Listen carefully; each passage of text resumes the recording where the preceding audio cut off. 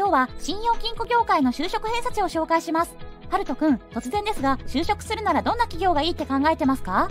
うーん、地元にいたし転勤がなくて安定しててそこそこ稼げたらそれでいいかな。確かに転勤があると家も買えないし、結婚しても単身赴任になりそうで嫌ですよね。そんなハルトくんにおすすめできるのが信用金庫業界なんです。ええー、信用金庫って初めて聞きました。確かに金融業界なら安定してるし、転勤も少なそう。その通り、信用金庫は基本的に転勤がないし、収入もある程度安定しているんです。でも、先行きが怪しい信用金庫に入ると、10年後にはその信用金庫がなくなっている可能性も。そんな危険を回避するためにも、信用金庫の就職偏差値から信用金庫業界の中でも優秀な狙い目の企業を解説していきますね。本編に入る前に今後もためになる動画を投稿していきますので、ぜひ高評価とチャンネル登録をお願いします。そもそもですが信用金庫って銀行と何が違うと思いますか？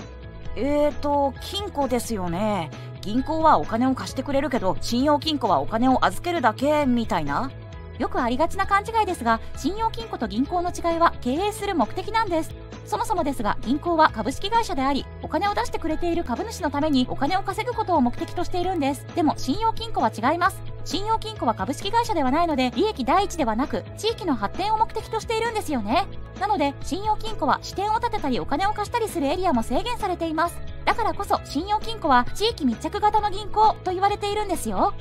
信用金庫と銀行の違いは分かったので、就職偏差値を解説してほしいです。それでは一緒に就職偏差値が高くてホワイトな狙い目信用金庫を探していきましょう。その前に一つ注意点があります。今回紹介する就職偏差値は2チャンネルという匿名掲示板で議論されている内容をもとに作成された企業ランキングです。企業選びの参考程度に捉えてくださいね。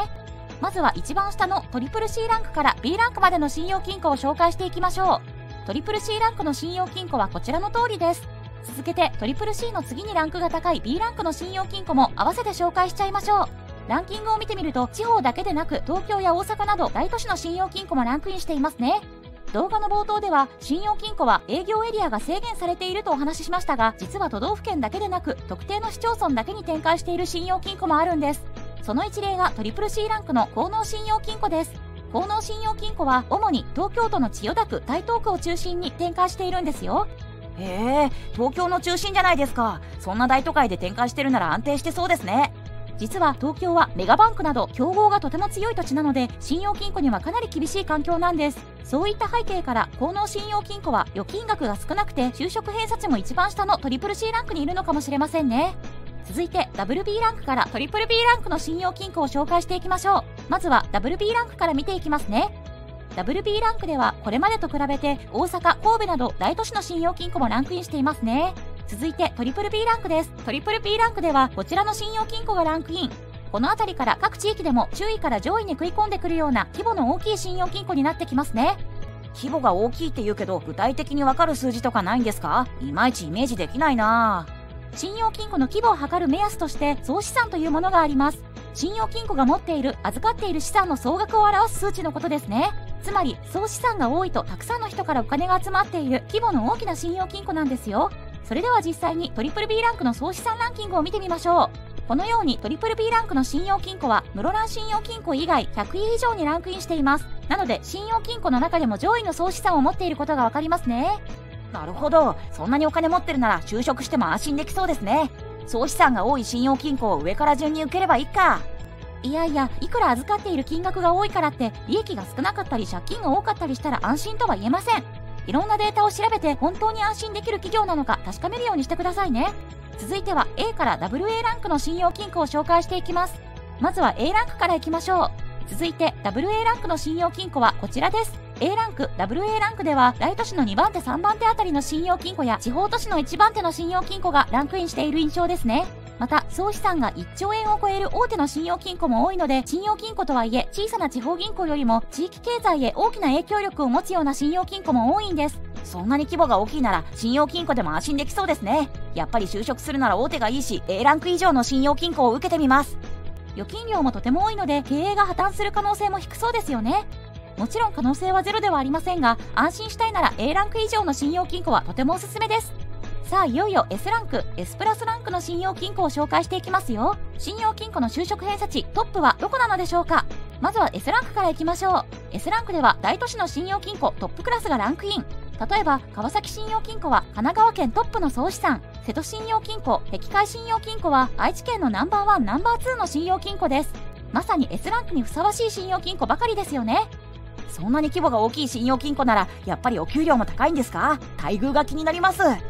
やっぱり年収も気になりますよね。ですが信用金庫は株式会社ではないので年収の情報が公開されていないんです。そこで参考程度にはなりますが社員の口コミが掲載されているサイトオープンワークの口コミ年収を紹介しますね。口コミによると年収を見てみるとおおむね400万から500万円に収まっているようですね。思ったより高くないと思うかもしれませんが安定していて転勤がないならこれくらいの年収でもいいって方も多そうですね。続いて S プラスを紹介していきましょう。S プラスでは東京都トップの城南信用金庫愛知県トップの岡崎信用金庫そして京都日本トップの京都中央信用金庫がランクイン。京都中央信用金庫は日本トップの総資産を誇る最大手の金融機関です。その総資産は5兆5700億円以上でこれは地方銀行上位の銀行と同レベルの資産額なんですよ。また城南信用金庫は総資産第2位岡崎信用金庫は総資産第3位と S プラスランクは日本の信用金庫でトップ3を取っているんですね。うわ日本トップ3の信用金庫なんですね。日本トップとなればやっぱり年収もめちゃくちゃ高いんじゃないですか。1000万円とかもらえたりして。